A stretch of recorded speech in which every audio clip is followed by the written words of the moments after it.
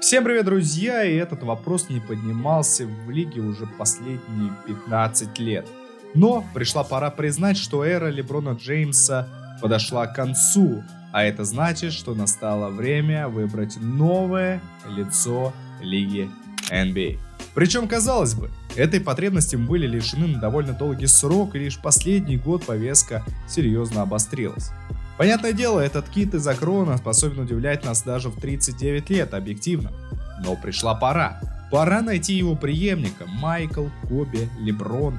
Калибр этих личностей, консенсус, останется в аналах истории NBA в ранге топ-5 боллеров в истории баскетбола на протяжении как минимум следующих 20-30 лет, а то и дольше. Но та дыра, где-то и опустошение побуждает общественность найти того самого Special One, кто сможет закрыть повестку хотя бы локального Гуата на следующие 10 сезонов. Йокичу и Эмбиду по тридцатку, так что мы смотрим исключительно в сторону молодых игроков. И вы даже можете в какой-то степени возмутиться и спросить, а не странно ли уже сейчас приписывать это звание Анту, и есть ли в этом хоть какая-то логика? Давал ли он почву для подобных размышлений? Конечно же, да.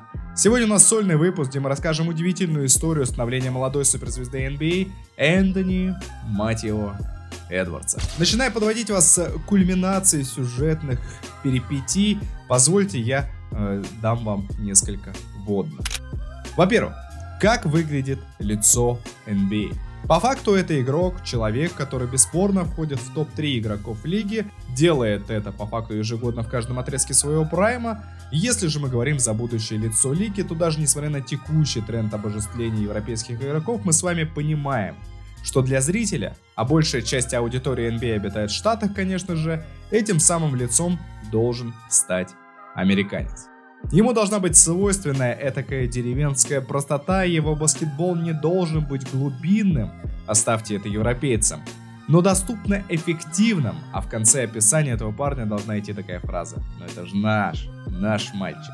Однако не застряйте своего внимания на этой громкой, казалось бы, подводке.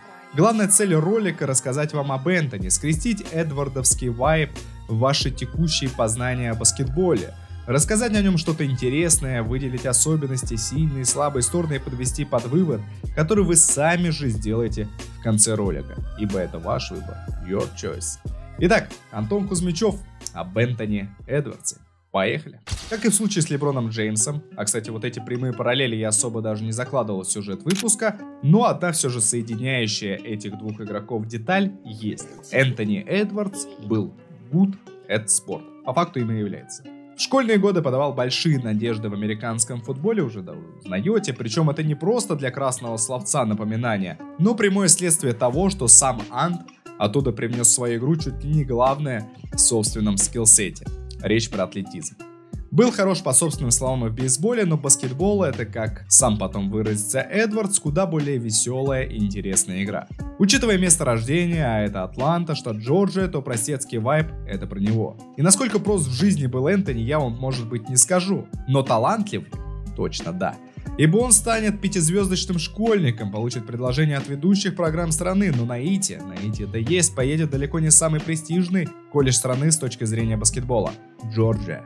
Причина простая – Том Крид, который на тот момент тренировал бульдогов, а за свою тренерскую карьеру выпустил двух типажных атакующих защитников, с которыми у самого Эдвардса много схожего. Это Виктор Аладипа и Дуэйн Уэйд. Со вторым Эдвардса, собственно, активно и сравнивали скауты своих драфт отчетов. Крепкий сезон в NCAA и забетонированное место в топ-3 ярмарки талантов по оценкам почти всех ведущих изданий страны в последних моках. Откуда я специально для вас выцепил несколько интересных фактов. Драфт 2020 года, напоминаю вам, это что? Нахождение там Миннесоты Шарлот как бы не вызывает никаких дополнительных вопросов. Но второй пик того года имели Golden State Warriors. Сейчас уже тяжело говорить в формате «а что если?», но это самое «что если» имеет два ответвления. Перед драфтом первые три пика были понятны. Уайзман, Ламело и Эдвардс. Я думаю, что вы сами понимаете, кто куда поехал. Но суть заключается в другом. Миннесота в то время отчаянно пыталась скинуть этот первый пик, ибо в Эдвардсе не сказать, что вера была настолько сильна. А использовать этот выбор как актив под сиюминутное усиление состава очень хотелось, и они вроде бы как могли это сделать. Ламелло закрывал позицию до Анджела, Вайзман Таунса. По факту, не найдя никаких достойных предложений, выбор Эдвардса был понятен и очевиден. На его позиции попросту не было игроков, на которые делали тогда ставку тренерский штаб команды, ну, возможно, только Малик Бизли. А в этой самой мультивселенной, что если интересна цитата Стива Кера, которая якобы была адресована Анту после преддрафтовых воркаутов. Говорим, если что, со слов самого Эдвардса, который он обронил на пресс-конференции. Посмотри на Стефа, Кейди и Клея. Глянь, как они тренируются. Ты это не делаешь. Если бы у нас был первый пик, мы бы точно тебя не взяли. В прессе причем я видел несколько мнений. Якобы инсайдер, близкий к источнику в клубе, сообщал, что ГСВ предпочитает Ламела, если Уайзман уйдет первым пиком. И это несмотря на то, что их дуэт с Карри, скажем так, был немножко сомнителен. Однако некоторые издания утверждали, что в случае пика Уайзмана ГСВ все-таки остановит свой выбор на Эдвардсе. Но, правда, мы уже, конечно, не узнаем. Вайзман уже сейчас можно записывать в уверенные басты, а Ламело и Ант наиграли на свои супер максималки. Но фишка в другом. Эдвард сказал, что эта беседа послужила для него толчком, триггером, чтобы впахивать буквально на каждой тренировке и становиться лучшей версией самого себя. Возможно, именно поэтому в его профайле вслед за характеристикой трудовая этика стоят три знака плюс. Эдвард точно впахивает в зале, это очевидно заметно на паркете и в том прогрессе, что мы наблюдаем от него за эти три с половиной года. Без тренировок не могло обойтись никак, да и специфику коуча Финча мы все с вами понимаем, но об этом по порядку. С Кером, кстати, они встретятся уже в рамках сборной США, и между ними вновь произойдет тарантиновский диалог. Анта тренерский штаб рассматривал в качестве резервиста, аргументировав это тем, что Уэйд тоже был подменщиком Коби сборной. Да-да, ответ Эдвардса мы все с вами уже прекрасно знаем. Я и есть Коби в этой сборной. Причем это, знаете, казалось бы, незначительный пазл в общей картине, но именно такие детали помогают нам лучше понять портрет Анта. Любила ли его мама? Не знаю. Уверен ли он в себе? Знаю. Однако возвращаемся к делам давно минувших дней. Миннесота тогда, это вот если никого не оскорблять, была Миннесота. Дефектное управление, непонятный вектор развития франшизы и тому сопутствующие атрибуты франшиз, которые можно смело без экспансии отправлять в Сиэтл. Мало кто догадывался, что в ковидном межсезоне 2020 года они вытащили не один, а целых два золотых билетика в прекрасное будущее. Первый это, как мы с вами уже поняли, Энтони Эдвардс, второй Джейден Макдэниелс, которого выменили через два дня после драфта за незначительные активы.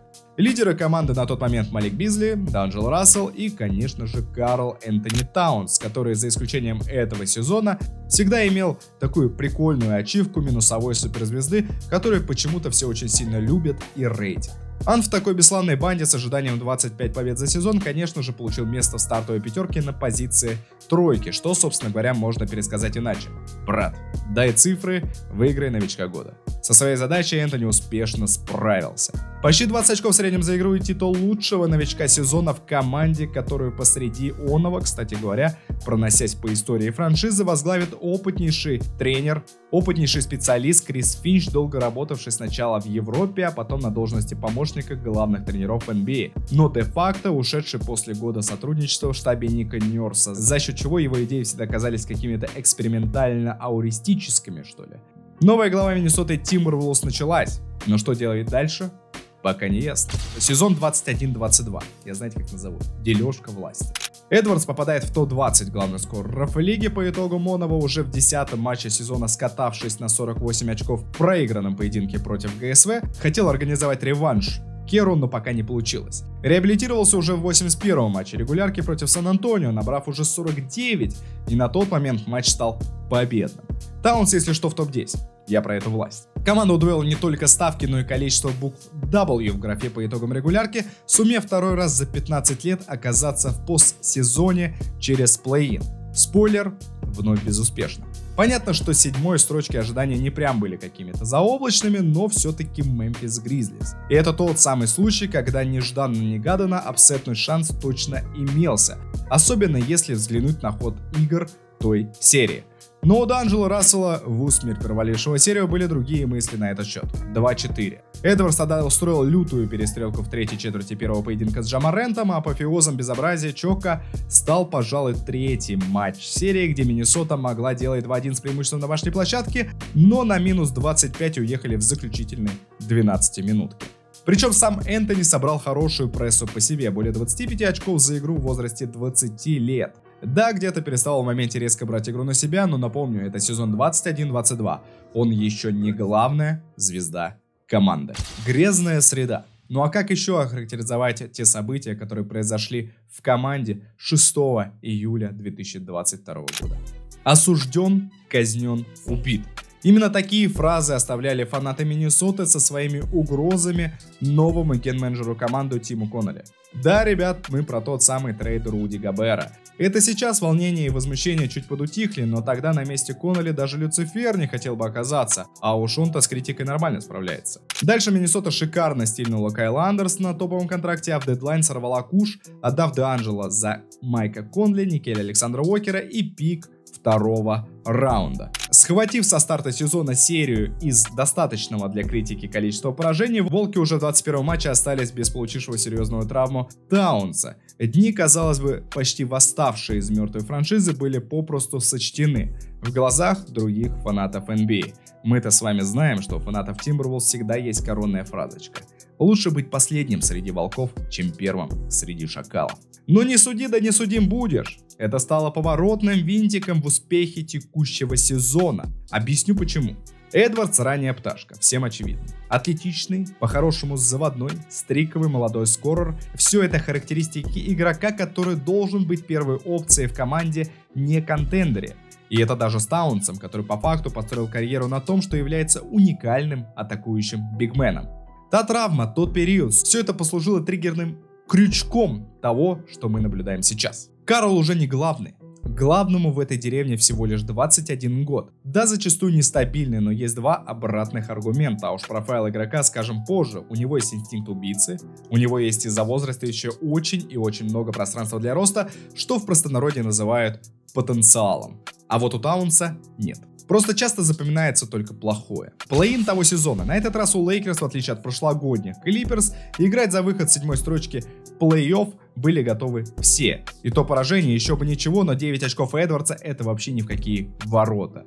В матче на вылет с OKC на первых ролях был снова Таунс, набравший 28, у Эдвардса 19. Серия с Денвер Наггетс, это было понятно всем. Билет в один конец. Но если уж билет в один конец, то надо скататься хотя бы на бизнес-классе. Да, 1-4, да, без шансов, но не зря Мелоун говорил, что это была самая жестокая серия на пути к финалам NBA. Миннесота знала, за что играла. Она играла за право быть в терах, где ее хотел видеть Коннелли, проводя сделку по Габера. Получилось ли? Не могу пока ответить точно, но Эдвардс в хлам перекрыл все сомнения относительно своей дееспособности в плей-офф, набирая более 31 в среднем за вечер, учитывая, что по нему играл Кентавиус Колдуэлл Поп, лучший персональщик Денвер Наггетс и один из лучших в лиге. А уже дальше можно поднять сводки и увидеть, что Лейкерс кинули в Анта не палкой, но Вандербилтом, который позже будет прикрывать Карри, являясь tier-1 матчапером того сезона, и все встанет на свои места. Стиль Эдвардса в таком юном возрасте подразумевает просадки, и они ему точно простительны. Если думаете иначе, то вы просто не понимаете базовые концепции бойлеров такого типа.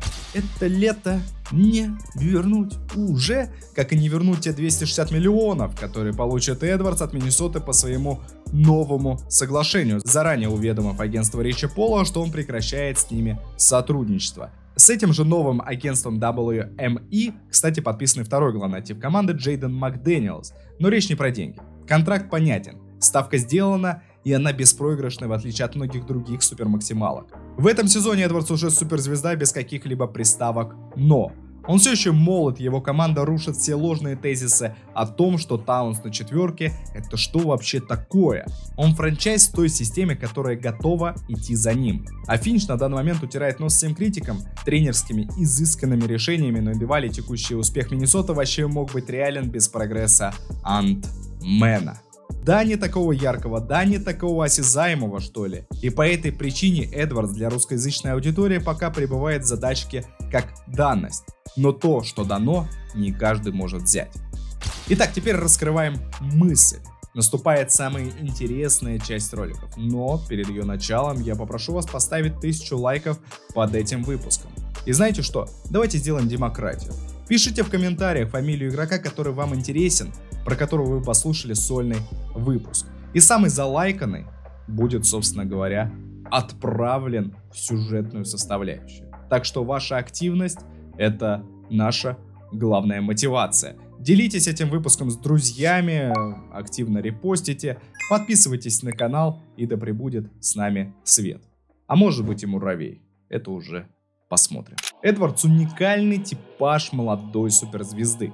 Мы с вами привыкаем к тому, что молодые игроки уровня tier-1 идут уже по узнаваемой тропинки, превращаясь в all-around исполнителей, где-то часто жертвуя важнейшими метриками игры. Кто-то жертвует защитой, как это сделали Лука Дончич и Трей Янг, кто-то жертвует эффективностью, кто-то жертвует лояльностью к трехочковым броскам, кто-то не может играть рядом с игроком, который сопоставим с ним по уровню, а кто-то Энтони Эдвардс. Де-факто он является взрывной помесью молодого атлета без слабых мест в ближайшем будущем, который готов входить в когорту главных звезд ассоциации, который может и защищается.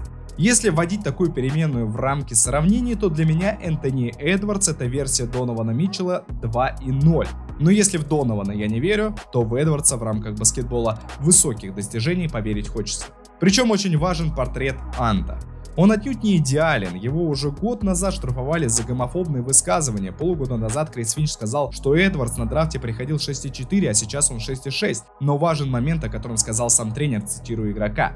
Не дай мне стать 6,6, иначе я буду Майклом Джорданом. То есть это то мышление спортсмена, которое невероятно привлекает обычного зрителя, о чем я говорил буквально в начале выпуска в контексте следующего лица.